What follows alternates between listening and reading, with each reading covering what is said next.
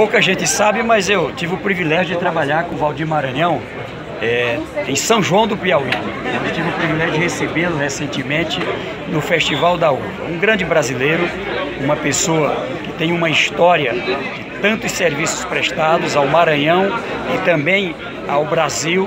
E fico feliz em ver do povo nascer essa vontade de Valdir Maranhão senador. Com certeza é bom para o Maranhão, é bom para o Brasil.